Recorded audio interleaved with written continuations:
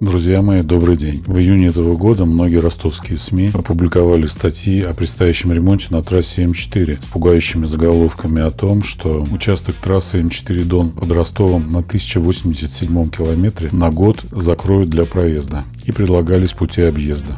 Собственник дорог компания «Росавтодор» также подтвердил эту информацию и сообщил о том, что с 15 июля изменится схема движения на трассе М4 Дон в районе путепровода на 1087 километре. Согласитесь, это довольно тревожная информация для всех отдыхающих, которые планируют поездку на юг по трассе М4, учитывая, что начало ремонта планировалось в самый разгар летнего сезона. Подробно эту информацию, а также возможные последствия предстоящего ремонта мы с вами разобрали в предыдущем видео, которое собрало огромное количество просмотров. Если вы его до сих пор еще не посмотрели, то я вам очень рекомендую. Ссылки находятся в описании и в подсказках. Это видео для тех, кто писал в комментариях, что планировал свое путешествие как раз на это время. Сегодня 17 июля. Идет третий день запланированных работ.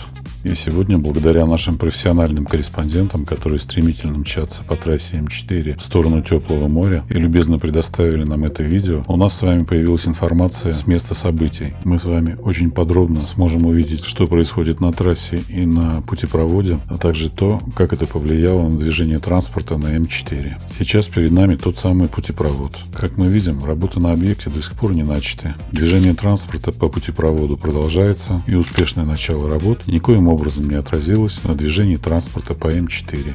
Желаю всем приятного путешествия и хорошей дороги. До встречи!